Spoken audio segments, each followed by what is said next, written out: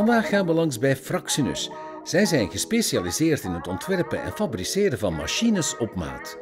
Wat er bij dit productieproces komt kijken, bespreken wij met Hans van Essen.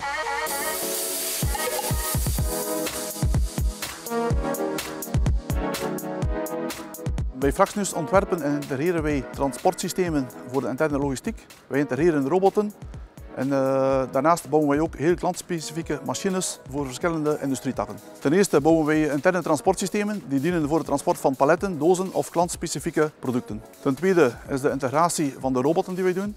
Ten derde bouwen wij ook heel klantspecifieke machines op maat van de klant uh, voor heel specifieke toepassingen.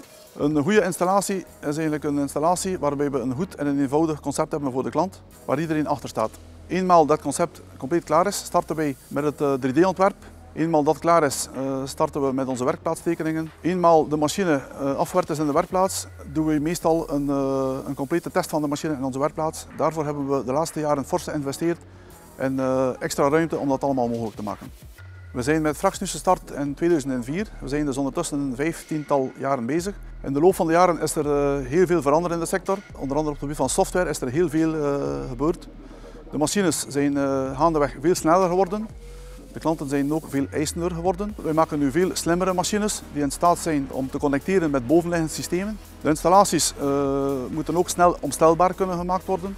Dat gebeurt nu meestal met verstelmotoren, zodanig dat uh, we via een receptuur uh, op enkele minuten tijd een complete lijn kunnen omstellen. automatisatie is ook de laatste jaren betaalbaarder geworden. Roboten zijn goedkoper geworden doordat ze ook in grote series gebouwd worden. We ondervinden ook dat het vinden van geschikt personeel automatisatie in de hand werkt.